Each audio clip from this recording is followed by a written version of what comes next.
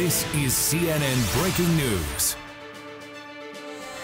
All right, we're following breaking news confirmation of a shooting at a school in South Carolina. What you're looking at right now are live pictures of Townville Elementary School.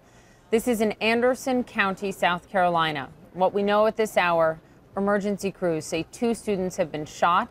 We don't have word yet on their condition. We know the fire department says it has been told to be on standby. The school is being cleared at this moment. Uh, of course, as we have updates, we will give them to you. We also know a life flight helicopter has been dispatched there to Townville Elementary School in Anderson County. Again, no more specifics. Two students shot. We'll bring you more as soon as we have it.